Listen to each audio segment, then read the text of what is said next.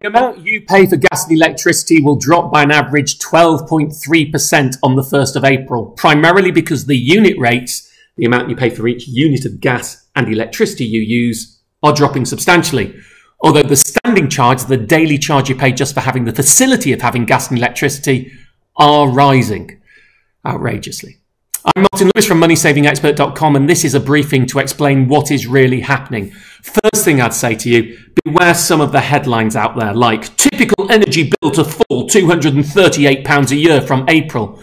First of all, this is just the price cap from April until June. It's not a year long price cap. So that £238 a year should say it's prorated, that saving. And secondly, what's a typical bill? We shouldn't talk in this typical bill form. It's just complicated. So back to basics.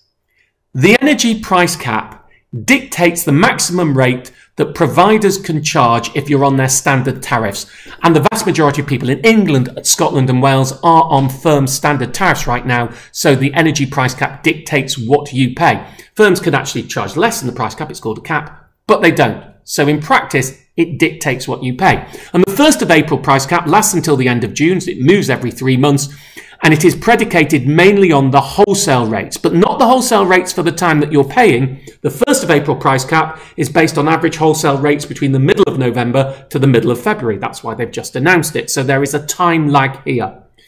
The best way to think about this is on average with a 12.3% cut for every £100 you spend on energy right now, use the same in April and you'll pay roughly £87.70p. Well, there's some complexities to that I'll go through, forward through in a moment.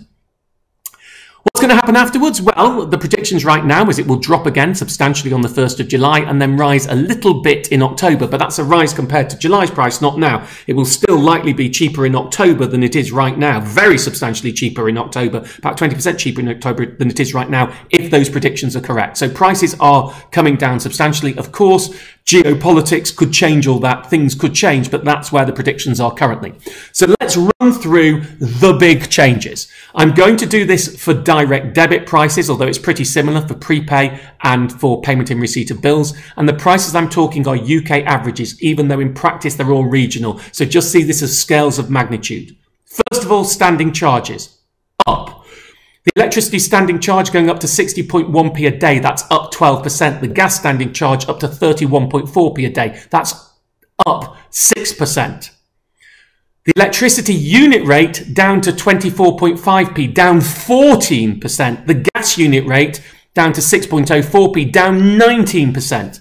Now, as most people, the majority of their bill is made upon the unit rate, not the standing charge. That's why overall you will save money. And the, the cuts on the unit rate are bigger than the increase on the standing charge. But of course, the more you use, and especially the more gas you use, the bigger your percentage saving will be. The less you use, and the more electricity you use, the smaller your percentage saving will be. But even having said that, unless you have an absolutely empty property, even if you've tiny usage, you will still be saving. Not as much, but you will still be saving. So many people I've seen on social media saying, well, the rise in the standing charge is going to cancel out the other savings. It doesn't in practice. Not saying it's a good thing. I've campaigned against the standing charge for a very long time. I think it's a moral hazard. I think it is a poll tax. I think it disincentivizes people on lower bills for cutting their bills. There's a consultation out there at the moment from Ofgem. We hope to hear it report back in six weeks, but it didn't happen in time for this price cap. But I will continue campaigning. I've spoken to two energy secretary of states. I've spoken to the chancellor. I've written papers to Ofgem about the standing charge. But I need to be honest with you ranting about the standing charge means that you won't gain isn't true. The standing charge rise is outweighed, for virtually everybody by the cut in the unit rates. The other staggering thing here is that prepayment is set to be the cheapest price cap. Now, as someone again who's campaigned for years that the most vulnerable in society pay the most because they're on prepayment tariffs and they are the most expensive tariffs, this is quite shocking. But from the 1st of April, the prepayment price cap will be 3% cheaper than the direct debit price cap. The reason why you used to pay much higher standing charges on prepay, they've now been equalised with direct debit, and the unit rates are cheaper on prepayment meters. Now, before you instantly think, aha, I'm going to move from direct debit to prepay because most people are on direct debit, a couple of thoughts. First of all, Monthly direct debit helps manage your cash flow. You pay the same each month, it's smoothed out over the year. On prepayment, you would have to find the cash to pay each time. But probably more importantly, once the market comes back to switching, and I think that will start to happen from the 1st of April because the hideous uh, market stabilization charge, which is where outrageously Ofgem allowed or made firms where a new customer switched to them because they could charge cheaper rates because of wholesale prices compensate the old energy firm. The new firm had to compensate the old firm. I mean, that's totally put people, put firms off offering switching tariffs. That goes on the 1st of April. There are other things I would like to them to get rid of that make switching come back even more quickly. But I think that will start to kickstart switching. And when switching does kickstart, then most of the cheapest tariffs are about direct debit. They're not, you don't get cheap prepaid tariffs. So my summary guess for where we'll be in future, um, stronger than the guess, can't quite confirm it, is if you're the type of person who switches, direct debit is where the savings will be. If you never switch, prepay is set to be cheaper than direct debit on the price cap, so that will be your winner in future.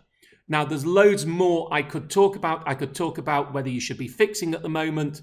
Um, that I could mention the fact that you should go into the E.ON Next tariff if you're going to stick on the price cap because as long as you're happy with E.ON and you have, you have a smart meter or prepared to get one, it's the price cap, but 3% cheaper. I could talk about all those things, but I wanted to keep this short and sweet. So for those, please go to the Is It Time to Fix or Switch guide that's on moneysavingexpert.com, where you can read full analysis of the tariffs that are available right now and whether you'll save. This was just my broad brush on what's happened today. Hope it helped.